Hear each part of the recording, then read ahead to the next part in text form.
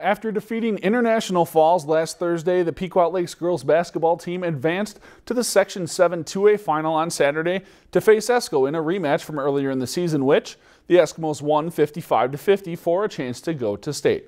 Pequot Lakes looking to head to state for the first time since 2014 in this game. First half, Patriots trailing by just a point until Carly Scott drives. She throws up the floater for two of her eight on the night.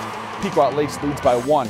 Next possession, Esko gets back on top. Carly Coolis finds Bridget Yellen down low. She had six points, but from there, the Patriots won an 8-0 run, capped off by the steal by Sam Littman, who finds Haley Wiebolt in transition. She had 14 on the evening, and Pequot Lakes wins 62 to 58. If you've enjoyed this segment of Lakeland News, please consider making a tax-deductible contribution to Lakeland Public Television.